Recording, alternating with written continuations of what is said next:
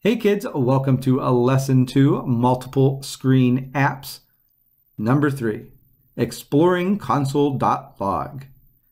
In the last level, we saw a new command, console log. You should have noticed that it prints out text in the debug console below the code workspace. The debug console area is an important tool for programmers. You've seen it display error messages, but you can also have your program display other messages there. You can find console.log in the variable code toolbox, and it's commands you use to send messages to the console. It is just about the simplest thing you can do to make your code generate output. We have something to try today. You try this. Add a console.log statement to say your name. Drag out a console.log statement into the workspace and add it below the two statements there. Following the lead of the first two lines, update the code so it says your name the output should look something like this.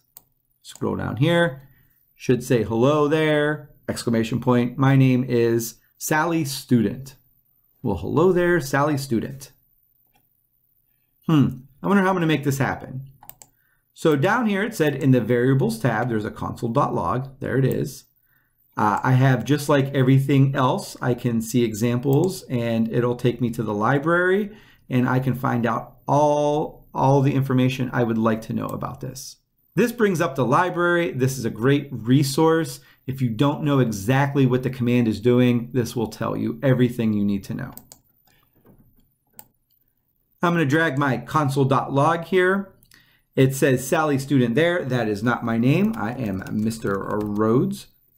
Exclamation point. I'll put it there. I think that's all that I needed to do. If I hit run here, I should generate something that looks like this in my debug console right here. Let's go ahead and hit run. Hello there, my name is Mr. Rhodes. Well, hello there, Mr. Rhodes. That was a pretty straightforward lesson. I think we did everything that code.org wanted us to. Let's see if it agrees. Hey. Good job, kids. I'll see you on the next lesson.